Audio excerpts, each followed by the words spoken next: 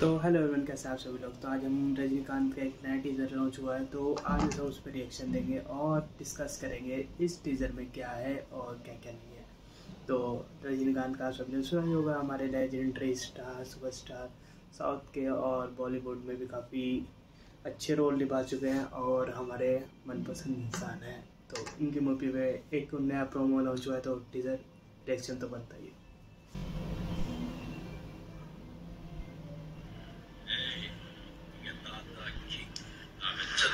Rules அந்த rules எனக்கு இஷ்டத்துக்கு அப்பப்போ மாற்றிட்டு அது கப்சிப்பது கேட்டு ஃபாலோ பண்ணணும். அதை விட்டுட்டு ஏதோ அதை அடாவடித்தலை பண்ண நினச்ச உன்னை கண்ட துண்டமாக வெட்டி கழிச்சு போட்டுக்குவேன் ஹொக்கோ டைகர் ஹொக்கோ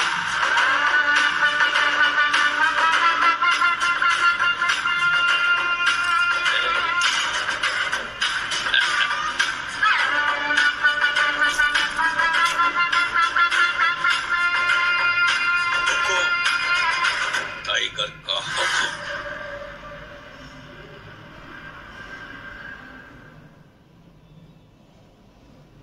तो दोस्तों टाइगर द तो जेलर का ये आ रहा है तो ये प्रोमो था जो हमें देखने के लिए मिला और रजनीकांत तो इसमें काफ़ी ज़्यादा एक्शन में लग रहे हैं।